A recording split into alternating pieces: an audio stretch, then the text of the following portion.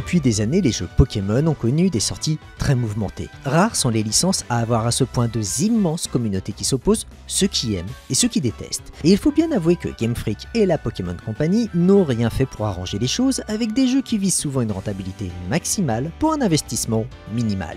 C'est alors que Legend Pokémon Arceus arrive. Présenté en février 2021 avec un trailer calamiteux qui fera date, on craignait le pire pour sa sortie. Alors, le miracle a-t-il eu lieu? Est-ce l'évolution tant attendue que réclament les fans de jeux Pokémon depuis des années? Réponse dans ce test. Salut à tous, c'est Sullivan et c'est parti pour le test de Legend Pokémon Arceus.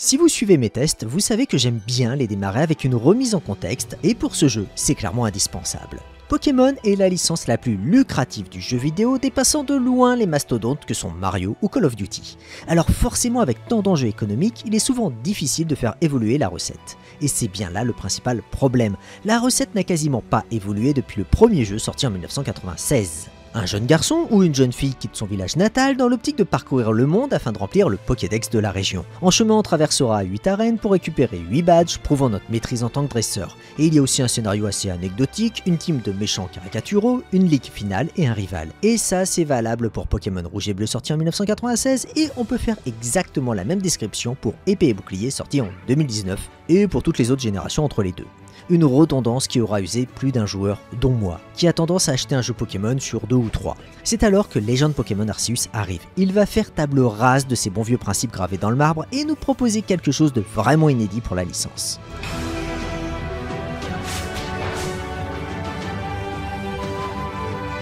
Arceus arrive avec une proposition lorgnant très clairement du côté des mondes ouverts. Alors oui, ce n'est pas un open world à proprement parler, mais plutôt une succession de zones très vastes et ouvertes. Et quand je dis très vaste, c'est peu de le dire. Les zones sont bien plus grandes que ce qu'on a pu voir dans Monster Hunter Rise par exemple, et mises bout à bout, bah on doit pas être loin du terrain de jeu que propose Breath of the Wild. Et même si le scénario vous imposera de les traverser dans un ordre précis, on pourra toujours revenir sur les environnements déjà débloqués pour pousser un peu plus loin l'exploration, car généralement la quête principale ne vous fera explorer qu'un tiers de chaque territoire. En parlant de scénario justement, parlons de ce point un peu plus en détail. Comme d'habitude dans les jeux Pokémon, vous allez pouvoir diriger un jeune garçon ou une jeune fille, mais la particularité pour Arceus, c'est qu'il n'est plus question de quitter son village natal pour aller explorer le vaste monde. Non, ici c'est bien plus original puisque votre avatar démarre le jeu échoué sur une plage. Tout juste apprend-on qu'on a traversé une faille dimensionnelle et que très clairement on appartient à un autre monde, voire à une autre époque. Le jeu restera volontairement flou sur ce point et il faudra aller jusqu'au bout pour avoir le fin mot de l'histoire. Une fin que vous verrez en une vingtaine d'heures de jeu si vous traînez pas trop, par contre comptez aisément 40 heures si vous êtes adepte du 100%. Dès le début, les bases sont posées. On dirige un étranger qui n'est pas forcément le bienvenu dans ce monde. Le monde d'ailleurs est très étrange. Là où dans les précédents jeux, les humains et les Pokémon vivent en harmonie, ici, c'est clairement pas le cas. Nous sommes à Isui, des centaines d'années avant les événements de Pokémon Diamant et Perle, dans ce monde qui ne s'appelle pas encore Sinnoh. Ce monde est géré par deux clans rivaux, qui s'appellent justement les clans Diamant et Perle. Ces deux clans ayant une forte croyance envers une divinité nommée le Grand Sinnoh, mais n'interprétant pas de la même manière ses préceptes. Au milieu de tout ça, la Team Galaxy va décider d'implanter son QG dans ce monde, fondant ainsi Rusticité dans le but d'étudier le comportement des Pokémon.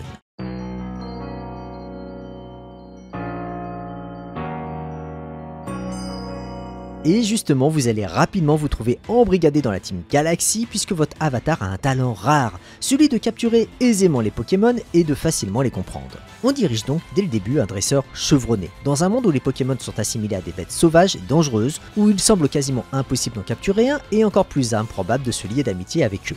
L'approche est originale et rien qu'avec cette introduction de scénario, vous comprendrez que l'histoire et l'univers est bien plus complexe que pour n'importe quel autre épisode. Bon, pour la suite du jeu, il ne faudra pas s'attendre à un gros RPG très scénarisé. Non, la progression est assez classique puisque dans chaque zone se trouve un Pokémon monarque. Ces Pokémon extrêmement puissants ont un comportement destructeur et notre mission sera de les calmer. Mais la progression reste intéressante d'un point de vue narratif. On croisera régulièrement Natchara et Adamantin, les leaders des clans Diamant et Perle, ainsi que de nombreux autres personnages liés à ces clans. Chaque zone a donc son propre mini-scénario, apportant différentes tâches nécessaires pour approcher le Pokémon monarque et trouver de quoi l'apaiser. Pour en finir avec l'histoire, on notera enfin que le dernier quart est purement excellent, avec son lot de révélations et de surprises. Bref, on tient là le jeu Pokémon qui a pour moi le meilleur univers et le meilleur scénario de la série, et de loin. Mais ce qui nous intéresse, c'est surtout le gameplay, et on va voir comment Game Freak a décidé de sérieusement dépoussiérer tout ça.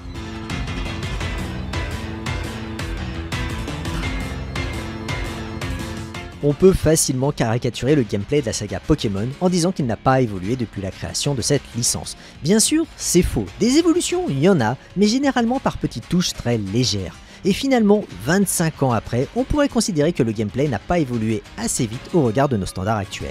Arceus va donner un bon coup de pied là-dedans. En quittant les traditionnelles routes pour arriver dans des vastes zones ouvertes, Game Freak a sérieusement revu sa copie pour rendre le gameplay bien plus nerveux qu'avant. Tout a été fait pour être vif, nerveux et enchaîner les combats et les captures de Pokémon plus vite que jamais. Ici, un combat se lance sans aucun temps de chargement, pas de ligne de texte pour nous dire qu'on combat tel Pokémon, ni pour nous donner la météo ou une quelconque autre information. À peine rentre-t-on en contact avec un Pokémon qu'on a déjà notre barre d'action qui apparaît. À partir de là, c'est classique. On reste tour par tour en utilisant les capacités bien connues des Pokémon. Enfin, on notera quand même l'ajout d'un style puissant ou rapide permettant au choix au Pokémon d'attaquer plus vite mais moins souvent, c'est-à-dire qu'il perdra des tours dans son ordre de combat, ou le style rapide qui va le faire taper moins fort mais qui lui permettra d'obtenir quelques tours bonus. Et on retrouve en sortie de combat la même efficacité qu'on avait au début du combat. Pas de temps de chargement, pas d'animation qui dure des plombes, pas de texte inutile au défilement très lent, et on n'a même pas à choisir parmi les nouvelles capacités débloquées par les Pokémon. Pour les capacités et même pour les évolutions, on aura juste une indication nous disant que de nouvelles capacités et évolutions sont disponibles, au joueur d'aller ensuite dans le menu quand il le souhaite pour gérer tout ceci. C'est une véritable force de ce jeu. Les combats qui avaient jusque-là un rythme très lent sont désormais bien plus nerveux et rapides. Dites-vous que le temps de faire un combat dans Pokémon épée bouclier, eh bien vous avez le temps d'en faire deux ou trois dans Arceus.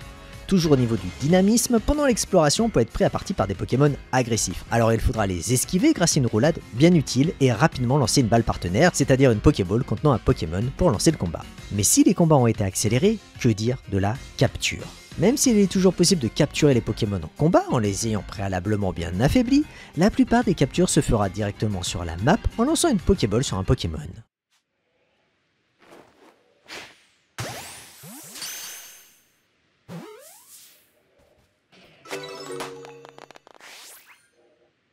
Et histoire de casser les codes un peu plus, le principe des hautes herbes est désormais totalement inversé.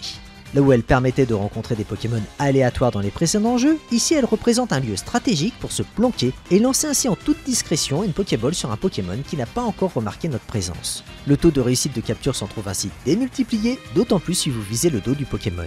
Des captures complexes qui pouvaient prendre énormément de temps dans le passé peuvent ainsi être extrêmement rapides si on cumule les bonnes conditions. Combat et capture accélérée, alors qu'en est-il de notre mission de base nous demandant de remplir classiquement le Pokédex? Eh bien là aussi ça change. Capturer un Pokémon ne suffit plus. Pour valider une page de Pokédex, il faudra réaliser diverses missions concernant un Pokémon et obtenir ainsi 10 points. Il s'agira de le capturer, de le battre, de le toucher avec des attaques bien précises, de le faire évoluer, de capturer des spécimens légers ou lourds, la liste est longue, mais finalement tout se fait assez vite et naturellement. Bref, une fois encore, une évolution bienvenue. Et compléter le Pokédex est une tâche bien plus agréable à faire, car elle s'inscrit bien mieux ainsi dans ce nouveau gameplay. Toujours dans les améliorations de confort, tout ce qui tombe au sol est ramassé automatiquement. Sans oublier qu'on peut balancer ces Pokémon sur des points de collecte, ils effectueront leur tâche pendant que nous on continuera notre route. A vrai dire, il y a quand même quelques bémols. Le premier, c'est la capacité du sac. Régulièrement, il est plein, et même s'il y a un moyen particulièrement coûteux d'augmenter sa contenance, c'est souvent frustrant de laisser des matériaux par terre, faute de place. On se retrouve donc régulièrement à vider son contenu dans une malle et pour un jeu qui veut libérer le joueur des vieilles contraintes imposées par la série, c'est assez dommage que ce point soit géré ainsi. Autre problème, les quêtes annexes. Vous trouverez dans le jeu des dizaines de quêtes annexes et qui sont globalement intéressantes. Le souci c'est qu'on ne peut en suivre qu'une à la fois. Pareil, niveau ergonomie, il y a quelque chose à faire à ce sujet. Et un dernier point, les boîtes Pokémon. Quel enfer On se retrouve à capturer plus que de raison les Pokémon pour réussir les divers stages du Pokédex. C'est rapidement le bazar dans les boîtes et impossible de faire un tri. Là encore, il y a du progrès à faire. Allez, quitte à parler des problèmes du jeu, il est quand même temps d'attaquer celui qui a fait tant parler de lui, sa réalisation.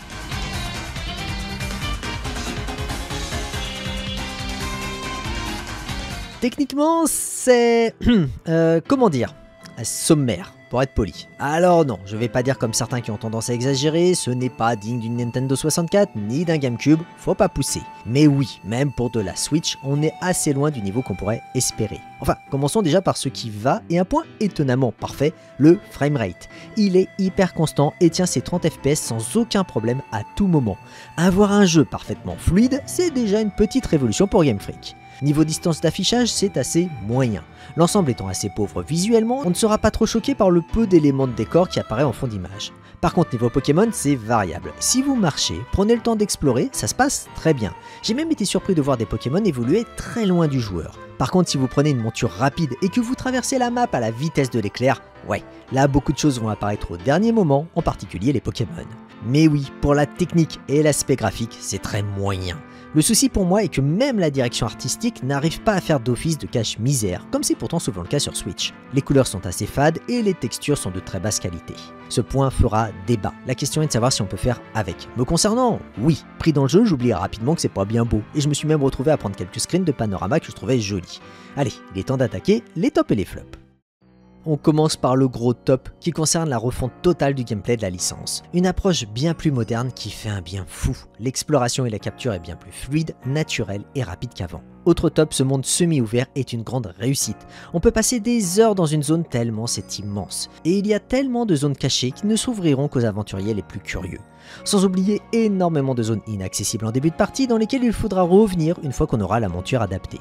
Continuons avec les tops pour l'univers et le scénario mis en place. C'est bien la première fois que je vois un jeu Pokémon avec une telle narration, et pour les fans du background de la licence, c'est un pur plaisir. Autre top pour les différents personnages que vous allez croiser. J'ai jamais été vraiment fan du design des PNJ dans Pokémon, souvent caricaturaux, voire grossiers. Cette fois l'approche est quand même bien plus qualitative avec des designs très réussis.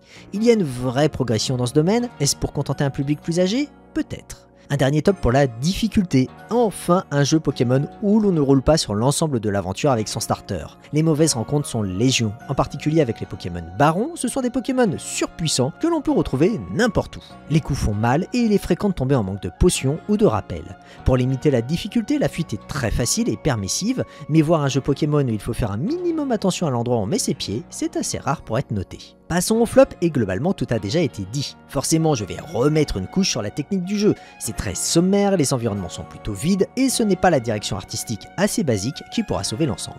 Un autre flop qui fera état d'une formule qui nécessite encore d'être améliorée. Que ce soit la gestion des boîtes Pokémon, de l'inventaire ou des quêtes annexes, on voit qu'il y a encore beaucoup de travail pour faire progresser ce concept il est l'heure de faire le bilan final. Non, Légende Pokémon Arceus n'est pas une révolution à la hauteur de Breath of the Wild, mais une grande étape a été franchie, et c'était probablement la plus difficile. Connaissant l'aspect hyper conservateur de la licence, je n'en attendais clairement pas tant. La licence Pokémon traîne depuis des années de problèmes récurrents, un gameplay vieillot et une technique archaïque. En passant au monde ouvert, Game Freak a dynamité sa structure de jeu et le gameplay est désormais bien plus moderne que jamais. Mais ce passage en monde ouvert a montré de façon encore plus visible qu'auparavant les problèmes techniques des jeux Pokémon. Alors comment juger? Doit-on tacler ce jeu parce que c'est honteux d'avoir un jeu techniquement si peu abouti alors que Pokémon Company a largement les moyens de nous proposer un titre qui serait techniquement digne d'un AAA Ou au contraire, doit-on mettre en avant la formidable avancée que ce jeu a connue en termes de gameplay? Très clairement, je penche pour la seconde option. Oui, pour moi, Legend Pokémon Arceus est un indispensable. Un jeu Pokémon qui fera date et sortant la licence de ses vieilles mécaniques de gameplay. Un jeu Pokémon où l'exploration et la capture n'a jamais été aussi grisante. Un jeu Pokémon qui innove, qui apporte probablement plus d'innovation que la série n'en a connu depuis son lancement. Si vous voulez boycotter le jeu, je comprends. En dire du bien, c'est conforter Game Freak et Pokémon Company dans la création de jeux avec des budgets limités cherchant une rentabilité maximale. Mais désolé, ce jeu est excellent et moi leur rentabilité dans ce cas, je m'en moque. Je suis maintenant très curieux de voir ce que la 9 génération donnera. Un retour en arrière est-il encore possible? La prochaine génération sera-t-elle en monde ouvert? Qu'en est-il des villes, des arènes, des badges, de la ligue? Tout ça est très excitant et j'espère qu'on aura bientôt des réponses. Allez, c'est fini pour ce test de Legend Pokémon Arceus. Comme d'habitude, si vous avez aimé, n'hésitez pas à mettre le petit pouce bleu qui aide au référencement de la vidéo et faites-moi part de vos aventures dans ce nouveau monde de Pokémon en commentaire. Allez, nous on se retrouve très bientôt pour d'autres aventures. D'ici là, jouez bien. Bye bye.